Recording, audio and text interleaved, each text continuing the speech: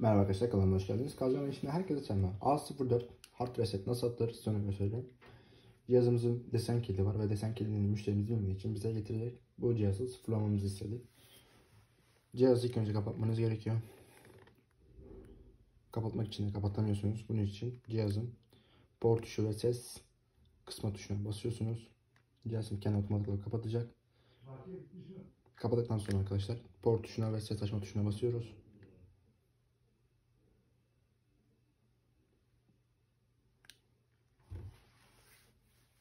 Elimi çektikten daha sonra arkadaşlar cihaz şimdi reset moduna girecek.